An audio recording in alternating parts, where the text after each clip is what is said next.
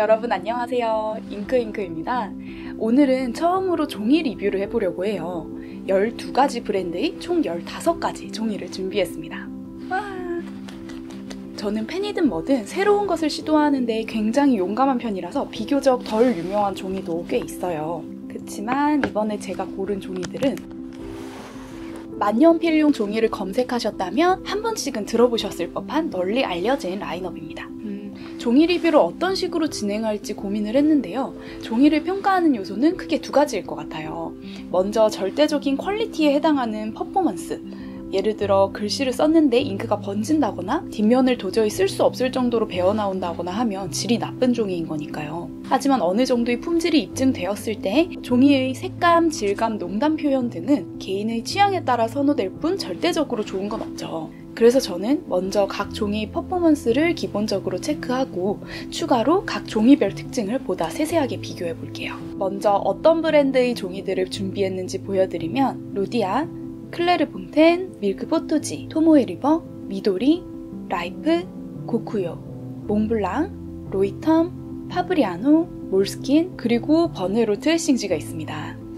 오늘 영상은 노트 리뷰가 아니라 종이 리뷰이기 때문에 노트의 크기 종류나 뭐 속지 타입 이런 건 세세하게 언급하지 않을게요. 또 너무 길어질까봐. 각 노트에서 종이를 한 장씩 뜯어내어 다양한 펜과 잉크의 조합으로 나름대로 테스트를 해보았어요. 테스트 항목을 먼저 말씀드리고 본격적으로 리뷰 시작하겠습니다.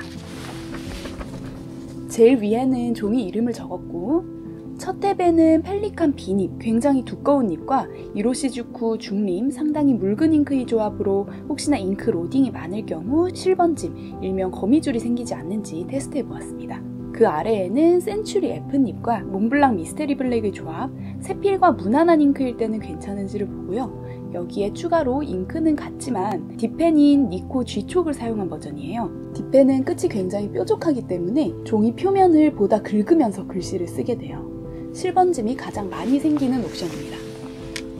다음으로는 디아민 마제스틱 블루, 테가 잘 뜨기로 유명한 잉크로 글씨를 써서 테가 뜨는 정도를 테스트 그 다음 펠리칸 M nib과 연한 잉크의 문스톤을 넣고 최대한 글씨를 빨리 썼을 때 농담 표현이 얼마나 드라마틱하게 나타나는지를 보았어요. 농담 표현 같은 경우 특히나 글씨 크기와 쓰는 속도가 통일되면 좋았을 텐데 종이 크기가 다 달라서 완벽히 맞출 수 없었던 점을 감안 부탁드립니다.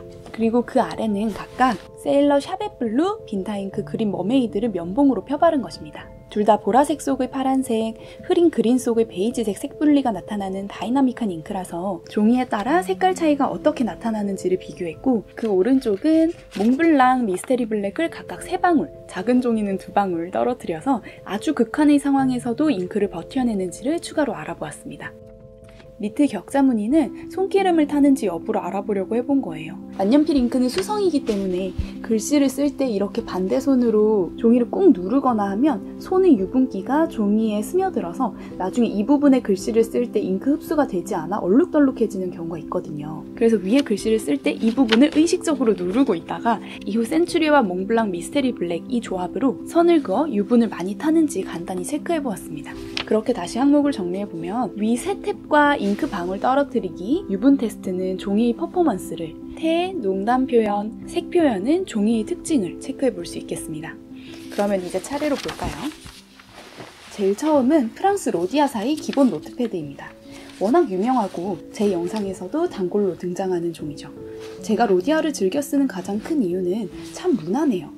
종이를 평가할 때 제 기준에 해당하는 대조군입니다. 1제곱미터당 80g의 중량이고 일단 종이 질이 좋습니다. 잉크가 콸콸 흐르는 펜으로 글씨를 써도 깔끔한 것을 볼 수가 있죠. 따라서 색필도 당연히 괜찮고 뒷펜도 잘 버티는 것을 확인할 수 있습니다. 참고로 오늘 리뷰할 종이들이 전반적으로 품질이 좋기 때문에 안 좋은 종이의 예를 보여드릴게요. 이건 이름 모를 종이인데요. 여기에 뒷펜으로 글씨를 쓰면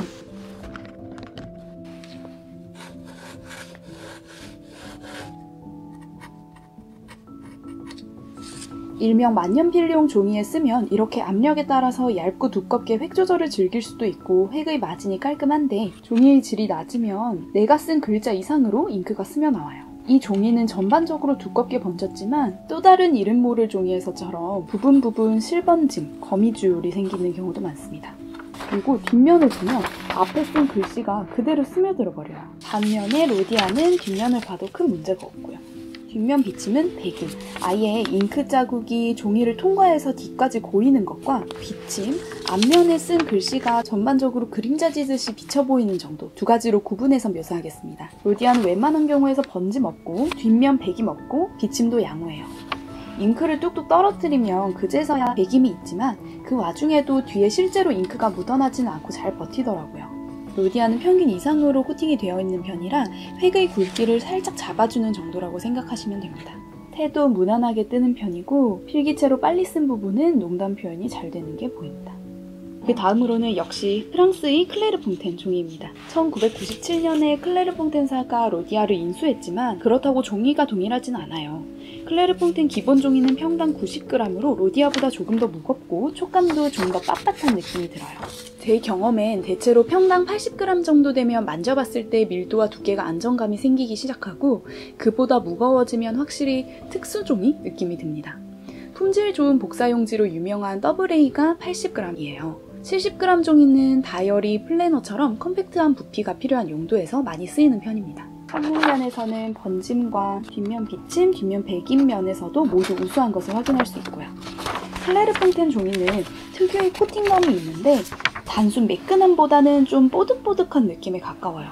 원래 코팅이 심하고 종이가 매끄러울수록 잉크가 덜 흡수되니까 테가 잘 뜨는 상관관계가 있지만 클레르 퐁텐의 코팅은 계열이 살짝 달라서 그런지 로디아와 비교해도 테가 더 많이 뜨진 않습니다. 또 잉크를 약간 먹는 듯한 스미는 듯한 느낌이 있어요.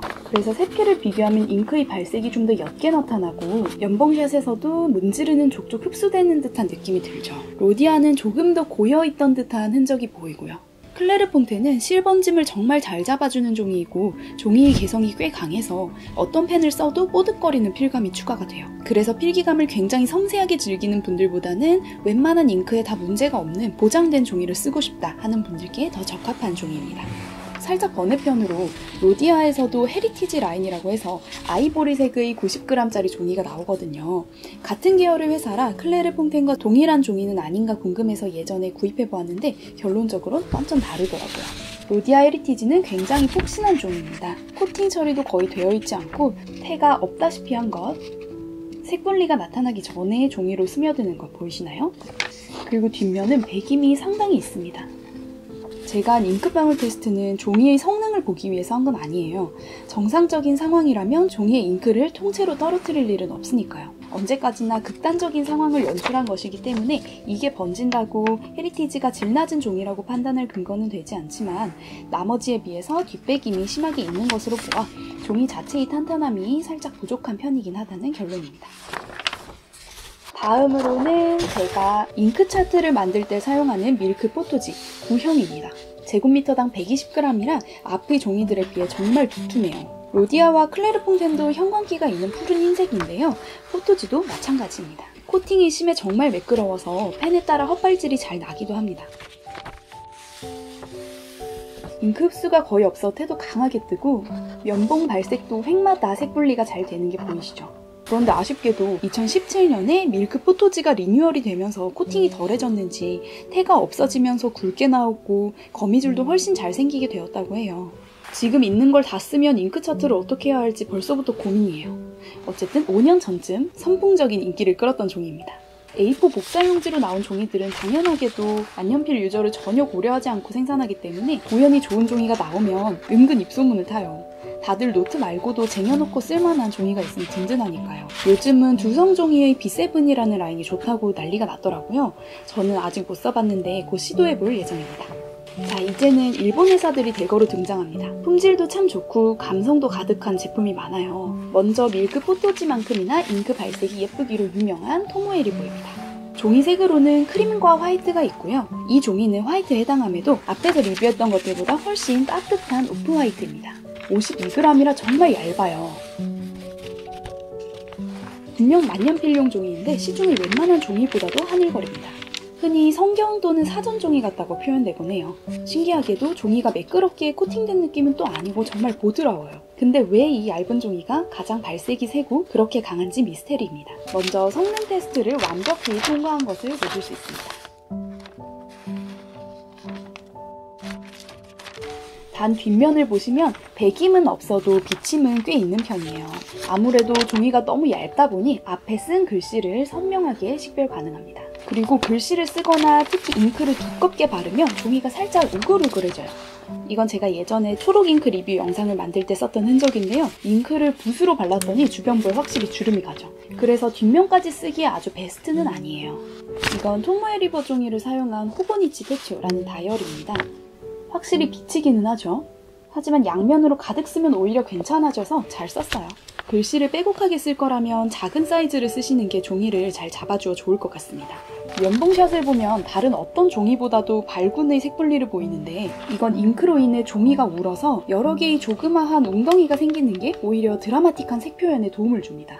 토모에 리버의 또 하나의 특징은 글자의 마진이 굉장히 깨끗하게 표현된다는 거예요. 두꺼운 글씨에서 잘 보입니다. 클레르 퐁텐처럼 잉크를 잘 흡수하는 종이와 비교했을 때 토모에 리버에서 잉크가 표면에 더 오래 머물면서 마른 후에 전체적으로 글씨 농담 표현이 적고 잉크가 균일하게 발리게 됩니다. 특히나 극단적으로 빠르게 쓴 경우가 아니라면 이렇게 균일하게 색이 표현되면서 가장자리가 살짝 진하게 나타나는 이게 토모에 리버의 signature라고 생각돼요. 다른 코팅이 된 종이들도 조금 그런 편인데 최강자는 토모에 리버입니다. 심지어 헛발질도 없어요. 저는 이 느낌에서 몇 년째 헤어나오지 못하고 있네요. 그 다음으로는 미도리입니다. MD 페이퍼가 제일 대표종이고 20%의 코튼이 함유된 MD 페이퍼 코튼도 있어요. 코튼 버전이 조금 더 뽀얗지만 토모에 리버 화이트보다는 살짝 creamy하고 기본 MD 페이퍼는 확실히 버터색이 돌아요. 먼저 오리지널 MD 페이퍼입니다. 사이트에 공식적으로 적혀있진 않지만 80g으로 간주되는 것 같아요. MD 페이퍼는 너무 미끄덩한 느낌이 심하지 않으면서도 코팅이 잘 된 종이에 준하는 테와 발색으로 매니아층이 있어요. 그런데 유독 잉크가 늦게 마르는 편입니다. 일반 글씨도 잘 묻어나는 편이고 제가 CP 세트 전체를 밤에 완성하고 4시간 정도 뒤에 일어났을 때 이게 안 말라있던 유일한 종이었어요. 약간 뭉쳐 떨어지긴 했지만 다른 종이들은 그래도 다 말랐었거든요. 잉크 흡수를 잘 하지 않고 늦게 마르는 종이인 만큼 태와 발색이 토모에 리버만큼은 아니더라도 다른 종이에 비해 잘 나타나는 편입니다. MD 페이퍼 코튼은 MD 페이퍼보다 질감이 살아있고 오리지널보다 아주 살짝 발색과 테가 약함과 동시에 배김과 비침이 더하려고 합니다.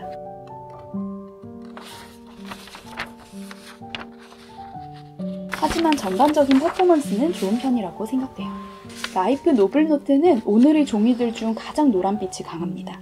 그리고 불빛에 비춰보면 이렇게 특유의 결이 보여요. 글씨를 쓸 때는 특별히 느껴지지 않는데 넓게 발색하면 종이의 패턴이 살짝 비치는 편이고요. 종이 자체의 색이 진해서 연한 잉크는 특히나 조금 톤이 다르게 나오는 경우가 있을 것 같고 여러모로 그림보다는 글씨를 쓰는 데 적합한 종이입니다. 84.9g이라 확실히 도톰한 느낌과 함께 표면은 굉장히 미끄럽습니다. 필감은 엄청 부드럽게 나오는데 이것도 코팅감이 좀 있다 보니 원래 헛발이 심하지 않은 펜과 잘 궁합을 맞춰서 사용해야 할 것 같아요. 번짐, 비침, 배김 다 우수하고 테나 발색은 중간에서 조금 더 좋은 정도로 두루두루 우수한 종이입니다. 마지막 일본 제품은 저렴한 종이인 고쿠요 캠퍼스 노트입니다. 버전이 두 가지가 있는데요.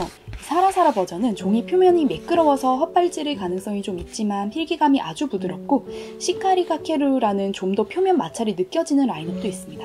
고쿠요가 아마 일본에서 제일 많이 팔린다고 하던가요? 널리 쓰이는 부담 없는 종이로 알고 있는데 가격에 비해 필기감과 성능이 너무 좋더라고요. 테필이나 디펜에서도 아무런 문제가 없고 뒷면도 쓰려면 쓸 정도의 비침이에요. 사라사라는 매끄러운 종이라고 말씀드렸죠? 태와 발색도 비교적 잘 잡아냅니다. 제가 특별히 좋은 A4 복사용지 발굴에 힘을 쓰지 않았던 게 평소에 고쿠요를 막 쓰는 종이로 사용해도 충분하더라고요. 하나의 단점으로는 이 페이지에서는 특별히 그런 게 없지만 가끔 손의 뭐 유분이 아니더라도 종이의 코팅 자체가 살짝 불균일하게 되어 있어서 부분 부분 글씨가 잘 안 나오거나 살짝 번지는 부분이 있었어요.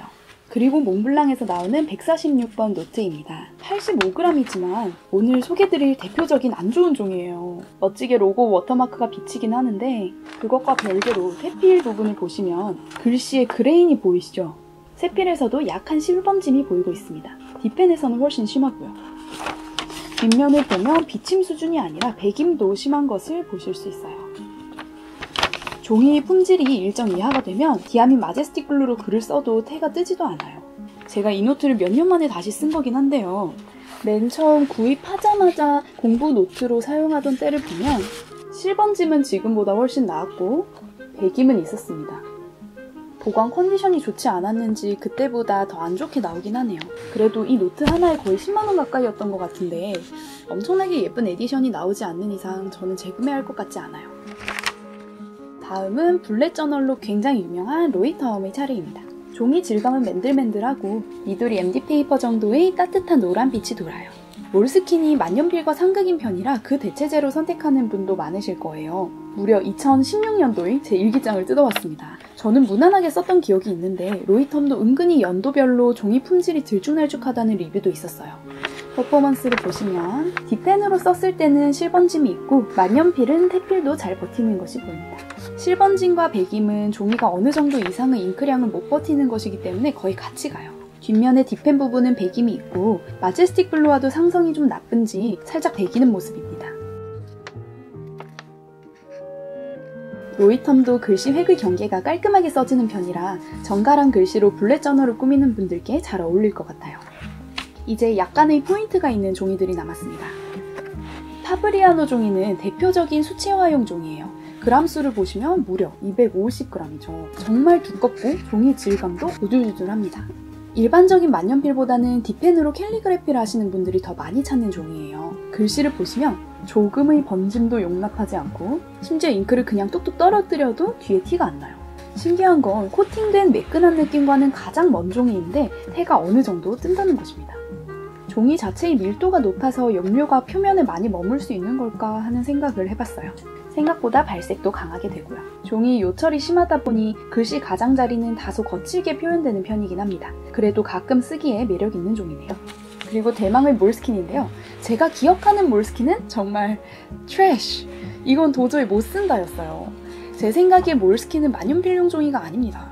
가끔 인터넷에 몰스킨에 만년필을 사용한다는 분도 보기는 했는데 몰스킨을 너무 좋아하셔서 성능이 안 좋은 걸 감안하고 쓰시는 줄 알았거든요. 그런데 올해 몰스킨을 테스트해보니 종이질이 너무 좋은 거예요. 먼저 제가 원래 알고 있던 몰스킨입니다. 2018년 1월에 선물 받았던 종이인데요. 까이에 저널이고 결과는 보시는 대로입니다. 너무 심하죠?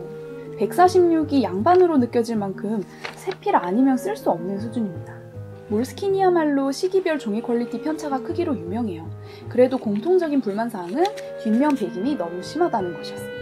일반 노트보다도 플래너 용도로 쓰시는 분들이 훨씬 많을 텐데 플래너에서는 뒷배김이 결정적인 단점이죠.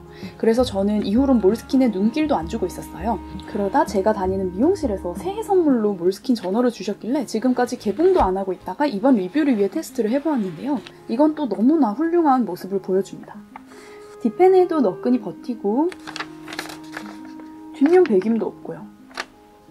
잉크 떨어뜨린 건 뒷종이 잉크가 묻은 거고 생 건 아닙니다. 놀라서 다른 장도 써봤는데 역시나 좋아요. 제가 알던 몰스킨은 이러지 않았는데 그래서 일단 올해 다이어리는 이걸로 써보려고 합니다. 스타벅스에서 매년 출시하는 새해맞이 다이어리도 몰스킨 제품이어서 저포도는 신포도일 거야 관심도 안 가졌었는데 올해는 디자인을 한번 보고 시도해볼 수도 있겠어요. 참고로 까이에 라인과 클래식 다이어리 라인은 품질이 다른 것 같다고 말씀하시는 분들이 되게 많았어요. 둘 다 70g인 건 맞는데 어떤 분은 까이에가 더 좋다고 하고 다른 분은 더 나쁘다고 하고 정말 의견이 달라서 이게 단순 편차인 건지 실제로 다른 종이를 사용하는 건지 검색하다가 이 표를 발견했습니다. 몰스킨에서 만든 자료이고요. 표준 70g 종이를 클래식, 한정 다이어리, 까이에, 볼랑 저널 다 사용하고 있다고 해요. 종이 자체는 다르지 않지만 다른 시기에 만들어진 종이를 쓰면서 개개인의 경험이 다 달랐던 건 아닐까 생각해 봅니다. 그리고 역시나 70g 종이는 애초에 만년필 유저가 타깃이 아니었군요. 앞으로도 이번 제노트 정도만 종이 질이 유지되면 너무나 완벽한 만년필용 플래너인데요. 영상을 보시는 분들도 몰스킨뿐만 아니라 오늘 리뷰한 종이 중 사용 경험이 있으시면 한 번씩 말씀해 주시면 모두에게 도움이 될 것 같습니다. 이제 개별 리뷰는 거의 끝났고요. 번외로 트레싱지를 하나 가져와 봤습니다. 일명 기름종이죠. 반투명 처리를 한 종이인데 테라든지 색감을 보기에 의외로 굉장히 좋다는 평이 많아요. 손으로 만졌을 때는 거친 느낌이 없는데 글을 쓸 때는 까끌거림이 굉장히 강하게 느껴져요. 뒷면을 보면 마제스틱 블루의 테를 제외한 본연의 잉크색을 비로소 볼 수 있습니다. 뒤에 흰 종이를 받치면 잉크 색깔이 더 잘 보여요. dip pen 사용자분들께 갖고 놀기 좋은 종이를 한번 보여드리고 싶어서 주변 문구점에서 한번 사봤답니다. 그리고 제가 제일 밑에 테스트했던 유분 테스트 결과도 말씀드려야 할 텐데 제가 원래 긴장해도 손에 땀도 하나도 안 나고 손이 정말 건조한 편이에요. 걱정한 것처럼 결과가 아주 드라마틱하진 않았습니다. 제일 티가 많이 났던 건 미도리의 MD 페이퍼예요. 손기름을 많이 타기로 굉장히 유명합니다. MD 페이퍼 코튼도 비슷했던 것 같고 트레싱지도 이렇게 손이 닿았던 부분이 유분 코팅이 되어서 만년필 잉크를 밀어내는 거 보이시나요? 이 셋이 좀 심하게 나타나고 나머지는 크게 티가 안 나더라고요. 어떻게든 구분을 해보자면 그 다음으로는 로디아, 클레르퐁텐, 몽블랑, 몰스킨이 좀 티가 나는 것 같고 로이텀, 토모에리버, 밀크 포토지, 라이프 노블, 로디아 헤리티지, 고쿠요 사라사라는 비교적 양호했던 것 같습니다. 파브리아노는 아예 변화가 없더라고요. 저는 유분을 별로 신경 쓰지 않고 이것저것 잘 쓰기는 하는데 그런 불상사 없이 종이 아래까지 깔끔하게 쓰기 위해서 이렇게 현재 쓸 부분 아래에는 종이를 대거나 아예 드로잉 장갑을 끼기도 하시더라고요. 추가로 겨울철에 핸드크림 같은 걸 바른 상태면 그것도 종이에 영향을 줄 수 있어요.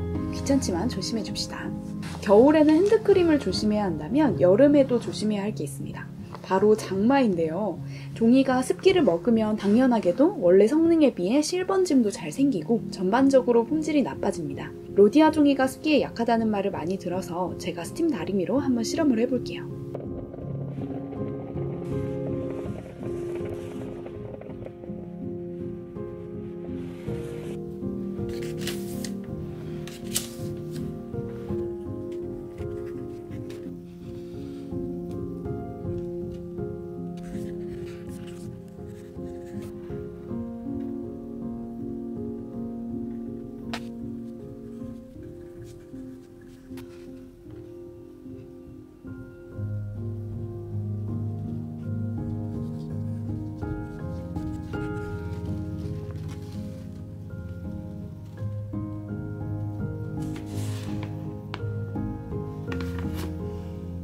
눅눅한 곳에 종이를 오래 보관하게 되면 이렇게 쓸 때 지장이 있기 때문에 정말 관리를 열심히 하시는 분들은 밀폐된 공간에 제습제까지 넣어서 보관하기도 해요. 그렇게까지는 아니더라도 최소한 책상 위에 그냥 놔두진 마시고 최대한 노트를 닫아서 보관하고 이왕이면 틈이 없게 종이끼리 꽉꽉 눌러서 보관하시면 좋을 것 같습니다.